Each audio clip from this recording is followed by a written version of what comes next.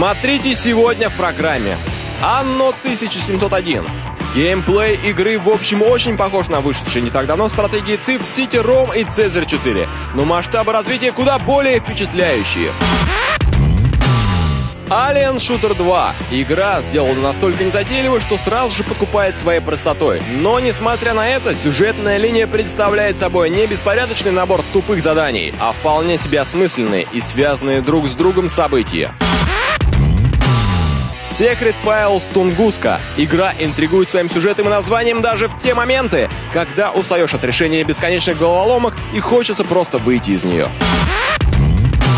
Mage Knight Apocalypse представляет из себя чрезвычайно боевую RPG по мотивам широко известной настольной ролевой игры с коллекционными фигурками.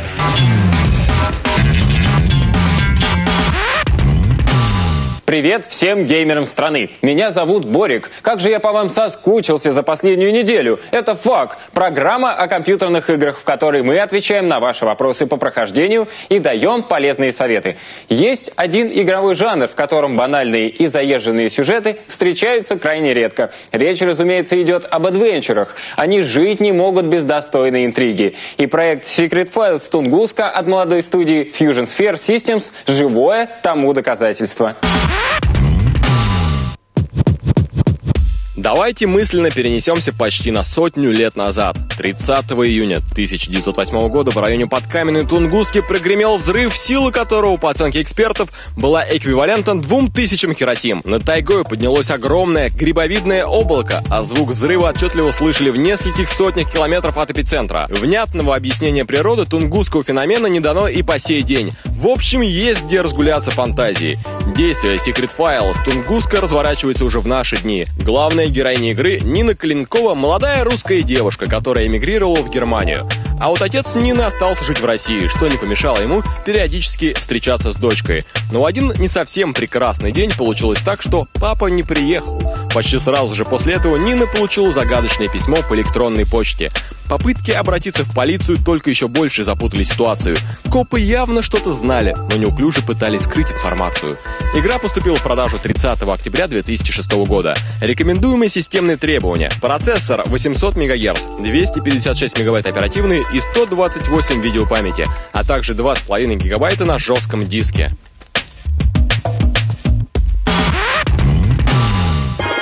Secret Files Тунгуска интригует своим сюжетом и названием. Даже в те моменты, когда устаешь от решения бесконечных головоломок и хочется выйти из игры, все равно неразгаданная тайна и интерес берут верх. Из особенностей игры можно отметить возможность избежать пиксель-хантинга. Просто отобразите на экране все активные области нажатием кнопки.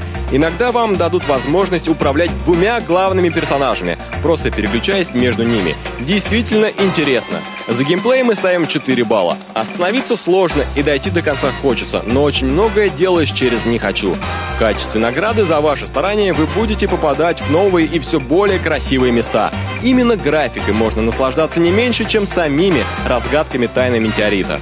Все локации прорисованы качественно и со вкусом. Цвета насыщенные, а видеоролики подкрепляют приятные впечатления от внешнего вида игры. За графику ставим 5 баллов. Достаточно сложно оценить озвучку игры. Музыки здесь практически нет, только в роликах. Все, что вы делаете, имеет свои звуки и никаких претензий нет. Даже наоборот, все в порядке, практически как в реальной жизни. Можно придраться только к качеству озвучания персонажей, но мы считаем, что ничего криминального здесь нет. Поэтому за озвучку ставим 5 баллов. Ничего лишнего или недоработанного. В общем, игру мы оцениваем на твердые 5 баллов. Вас ждет интересная история, новые квесты, приятный внешний вид игры и впечатляющие видеоролики. А в конце вы сможете порадоваться за Макса и посмотреть неудавшиеся дубли из игры. Попробуйте сыграть, и вам точно понравится. Создатели Тунгуски перелопатили не один десяток приключенческих игр и постарались не повторить традиционных для жанра ошибок. В игре нет утомительного пиксель-хантинга и квестов, которые проходятся методом тупого перебора содержимого инвентаря. И вообще игра выглядит очень интересной, как с точки зрения графики, так и геймплея. Но есть в этой игре еще кое-что, о чем мы вам расскажем. Конечно же, мы ответим на ваши вопросы по прохождению, а их достаточно много. Постараемся ответить на наиболее частые вопросы. Первый. А какой пароль на компьютере папаши Нина? Записывайте. 2, 3, 4, 2. Вы можете разгадать загадку или просто подобрать. За пару минут уложитесь. Следующий вопрос. А что делать с кошкой в доме Владимира? Отвечаем. Откройте ключами мотоцикл и достаньте оттуда телефон. Пока кошка ест, используйте липкую ленту на телефоне и прикрепите его к кошке. Посолите пиццу. Кошка убежит в дом с вашим телефоном, а в нем-то и есть диктофон. Следующий вопрос. Помогите включить кинопроектор в домике на болоте. Все вроде как сделал, только нужен фонарь, а где он? Отвечаем. Нужно потереть стекло тряпкой с бензином. Еще один вопрос. Я в поезде. Профессор и ассистент убежали. А что делать дальше-то, а? Отвечаем. Нужно взять две банки с листьями, высыпать из них листья, собрать их в одну банку и вернуть ее на стол ассистенту.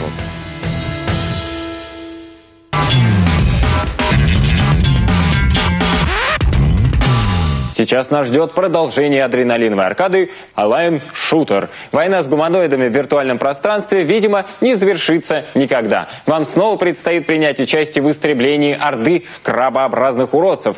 Приготовьтесь к встрече с легионами монстров, которых необходимо истребить, используя арсенал самых фантастических средств убиения. Самодовольству человеческой расы нет границы пределов. Люди посчитали себя всесильными и пришли туда, куда приходить им явно не следовало. Оградив себя мощными компьютерами и толстыми стальными дверями, они чувствовали себя в безопасности. Но судьба одарила их врагом, с которым прежде еще никому не доводилось встречаться.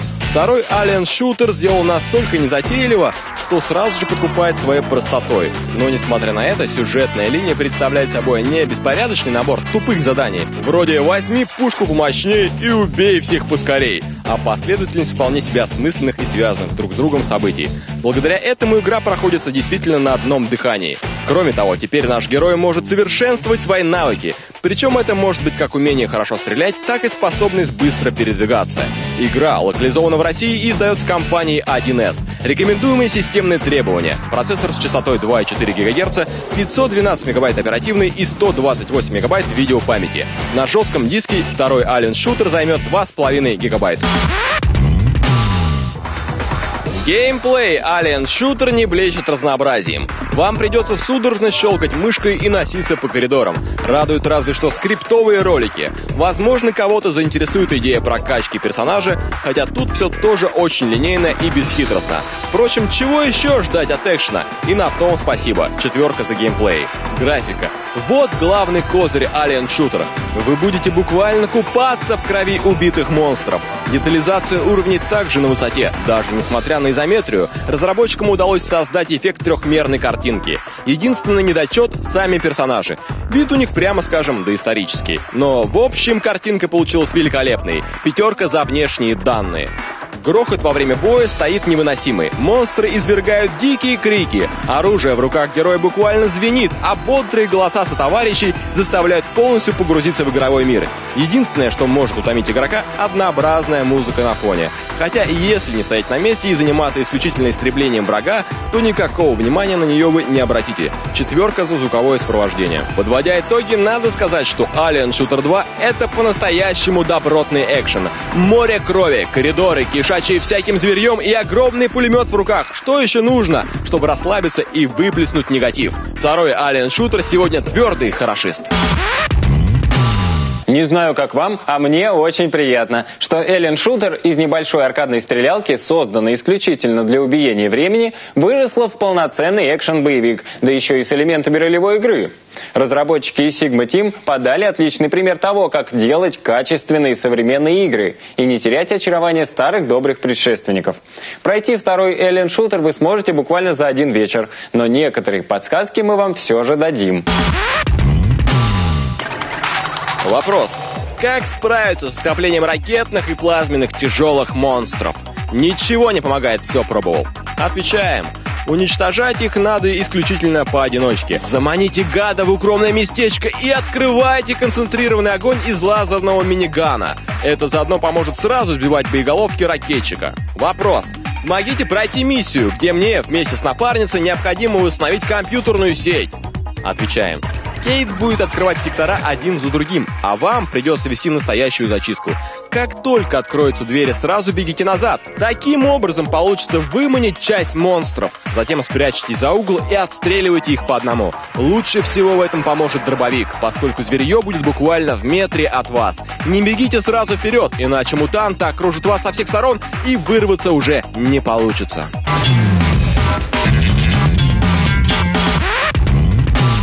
Смотрите во второй части программы «Анно 1701». Геймплей игры в общем очень похож на вышедшие не так давно стратегии Civ City Rome и Цезарь 4, но масштабы развития куда более впечатляющие. Mage Knight Apocalypse представляет из себя чрезвычайно боевую RPG по мотивам широко известной настольной ролевой игры с коллекционными фигурками.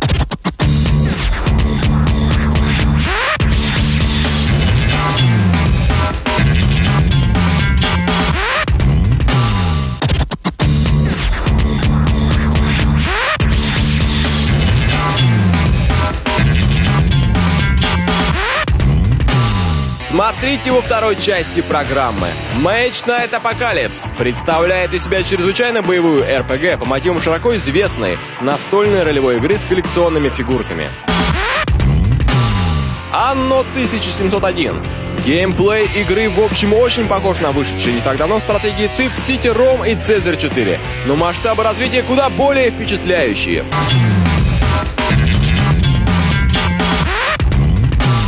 И вновь силы зла строят свои подлые, гнусные и коварные планы по организации большого апокалипсиса на территории некого волшебного мира. Как и положено, с драконами, магией и прочими атрибутами игры, претендующая на звание Диабло-киллера. Мейдж Найт – редкий представитель жанра. Игра не просто эксплуатирует старую добрую игровую идею, но и старается добавить в нее действительно что-то новое. Смотрим.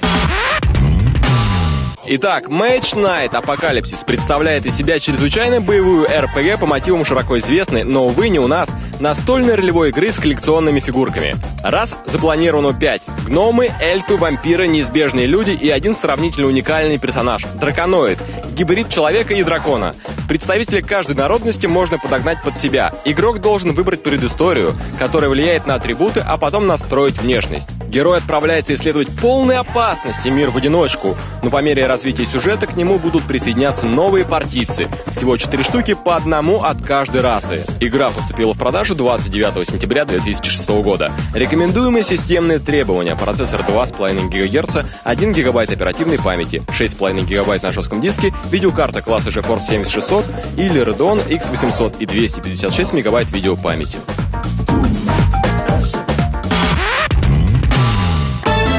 Интересно, разработчики решили пойти по пути постоянной прокачки, когда персонажи получают умения не каждый уровень, а все время по мере применения навыков. Кто больше машет мечом, тот машет им круче всех. С подобной системой прокачки сделать игру однопользовательской было бы непростительно. Разработчики подумали и решили, что главным мультиплеер-режимом для них станет кооператив. Когда каждый из пяти членов команды живой человек, приключения становятся гораздо ярче, красочнее и любопытнее. За геймплей ставим 3 балла. Слишком все просто и однообразно. Напрягает искусственный интеллект союзников и большие проблемы с балансом. Есть претензии и графики. Первое впечатление может быть обманчивым. На самом деле текстуры в игре низкого качества, движок слабый, персонажи плохо смоделированы и угловатые. Все эти недостатки скрываются яркими спецэффектами, но все равно заметно. За графику ставим 4 с минусом. Со звуком также не все в порядке. Можно не придираться, но музыка ничего особенного не представляет. Персонажи озвучены скучно, а иногда даже странно. За озвучку ставим 4 балла. В общем, получилась среднего качества игрушка, в которую, в принципе, играть можно. Но наша сегодняшняя оценка 3 балла. Куда ни посмотри, везде есть недостатки. И в геймплее, и в графике, и в звуке, и в искусственном интеллекте. Все, хватит. Надеемся, что в будущем все эти ошибки будут исправлены, и мы увидим совершенно новую игру. Разработчики не хотят ограничиваться одной игрой и говорят, что Match Night Apocalypse это не более чем начало длинной и увлекательной серии игр. А так как сериалы в последнее время становятся чрезвычайно модными, впереди нас ждет зубодробительный экшен и много чего интересного. То есть ролевая игра, конечно, а точнее и то, и другое. А еще вас ждут ответы на ваши вопросы по прохождению этой игры. Первый вопрос. Расскажите, пожалуйста, о системе повышения навыков игрока. Отвечаем. Как мы уже говорили, здесь используется нестандартная схема. Вы не будете самостоятельно распределять полученные очки опыта между способностями персонажа. Навык будет улучшаться сам в зависимости от его использования. Например, если во время боя вас часто бьют, тогда будет расти максимальный уровень здоровья и выносливость. Если уклоняетесь от ударов, растет ловкость. Правда, не у всех персонажей одно и то же умение вызывает рост соответствующего навыка можно навести мышь на какой-нибудь навык, и тогда увидите, за счет чего он был прокачан. Следующий вопрос. Подскажите, кого из героев лучше выбрать? Отвечаем. Проверено, что сложно играть в ближнем бою. В основном это связано с неудачным управлением камеры. Играть сложно, хотя реально. Например, за гнома. Просто постоянно прокачивайте навык ближнего боя. Есть еще пара особенностей. Отсутствие штрафов за смерть. Поэтому можно не напрягаться с аккуратностью ведения боя. А экипировка настолько однообразная, что менять его практически не имеет смысла. Только в редких случаях. Даже уникальные вещи фиолетового цвета не всегда выглядят уникальными.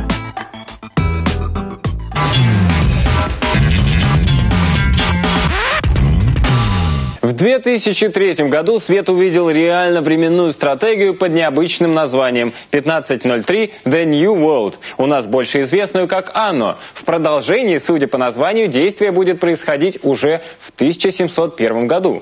Кстати, на родине, в Германии, игры этой серии затмили по популярности легендарных The Settlers и уже давно перешагнули за рамки компьютерных стратегий, обзаведясь собственными настольными играми. Конечно, в нашей стране оно пока не получило такой всенародной известности. Однако, среди любителей экономических стратегий с углубленным микроменеджментом игры этой серии пользуются огромной популярностью. Встречайте, Анно 1701.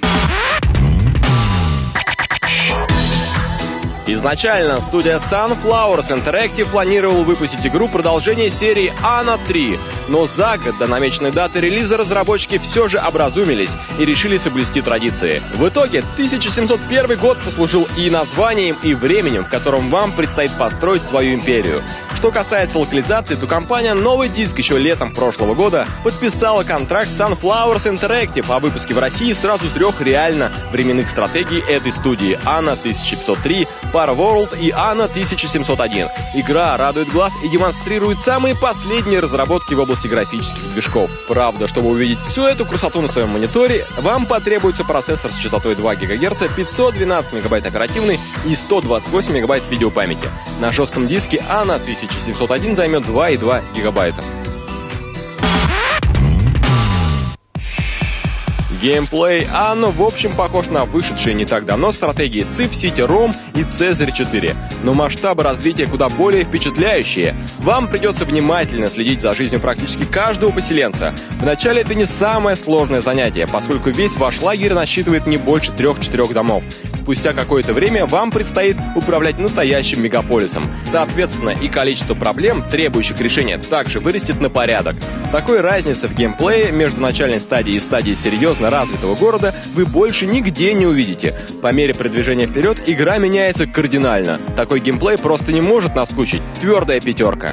Рассказывать о графике Анна просто нет никакого смысла. Эту красоту надо просто видеть. Недаром бюджет разработчиков перевалил за 8 миллионов евро, что по меркам индустрии компьютерных игр рекордная сумма. Все, до мельчайших деталей проработано с удивительной точностью. В вашем городе никогда не будет двух одинаковых домов. Такое разнообразие даже заставляет забыть о том, что это компьютерная игра. В вашем распоряжении оказывается по-настоящему живой мир. 5 баллов за внешние данные.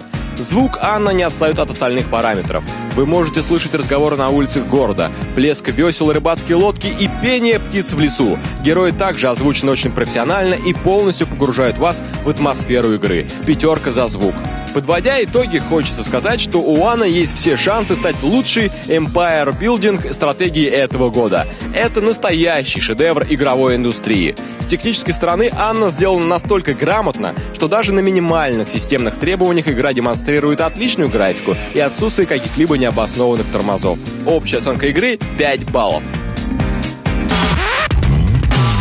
Одним словом, если вторые Settlers не оставили вас равнодушными, то прямой путь вам в магазин за Ана 1701. Стратегия удивит и порадует даже самых искушенных правителей. Тем более, что эпоха великих мореплавателей и первооткрывателей не так часто затрагивается разработчиками компьютерных игр. А оригинальные проекты в последнее время вообще большая редкость. Одним словом, рекомендую всем фанатам умных и красивых игр. А теперь ваши вопросы, наши ответы.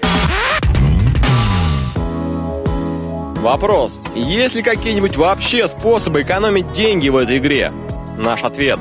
В самом начале вы можете не тратиться на постройку дорог между домами, которые стоят на соседних клетках. Они соединяются автоматически. Кроме того, не обязательно соединять дорогой дома и городской центр, если они находятся на небольшом расстоянии друг от друга. Вопрос.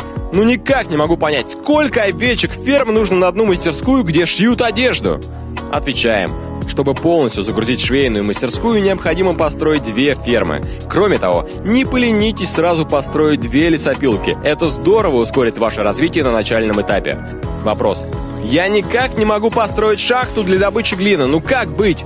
Отвечаем. Для расширения границ застройки вам необходимо разместить на своей территории рынок. Он увеличит область, в которой могут находиться новые строения и поможет в перемещении различных товаров по городу. Вопрос. У меня два острова, но тростник растет только на одном из них. Каждый раз мне приходится вручную гонять корабль от одного острова к другому, чтобы обеспечить жителей тростником. Ну как быть в такой ситуации, а? Отвечаем. Воспользуйтесь стратегической картой в нижнем левом углу экрана. С ее помощью вы сможете задать маршрут, по которому корабль сам будет плавать и доставлять необходимые ресурсы с одного острова на другой.